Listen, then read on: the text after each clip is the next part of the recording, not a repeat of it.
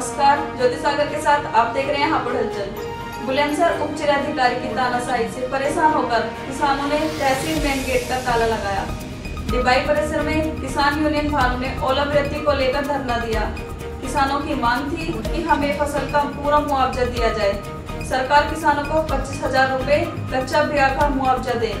इसी को लेकर किसान एसडीएम के माध्यम से मुख्यमंत्री को ज्ञापन देना चाह रहे थे। लेकिन किसान यूनियन 10 बजे से 2 बजे बैठा रहा। लेकिन एस डी भी जिन पर अड़े रहे, वो अपने ऑफ़िस से उत्तर नहीं आए, जिससे नाराज़ होकर किसानों ने तहसील के मेन गेट का ताला लगाया। कह रहे थे, यार हमें तो वो नहीं आ रहे। हम आए हैं मेरे तहसीलदार साहब। बहुत अच्छी बात है, हम आपके, आपको प्रणाम करते हैं, आपको नमस्कार करते हैं। क्यों? आप हमारे यहाँ तहसीलदार बहुत है। अच्छी बात आप आए हो लेकिन यहाँ एसडीएम साहब नहीं होते तो हम एक लेखपाल को भी ज्ञापन देते अपना कोई बड़ी बड़ी बात नहीं है। लेकिन यहाँ मौजूद सामने बैठे हुए हैं हमारे। ये लेकिन हाँ किसानों की समस्या सुनने में क्या परेशानी है? किसानों का? एक ज्ञापन ही तो देना हमको एक का काम है हमारा। हमको लड़ने नहीं आए हमारे अधिकारी हैं। सरकार ने चुन के इनको भेजा है किसानों को समस्या के लिए। और गेट के बाहर धरने पर बैठ गए।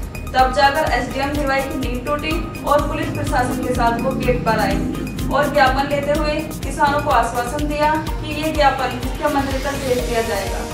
जो पैसा मंजूर होगा, विधिवत किसानों को वितरित किया जाएगा।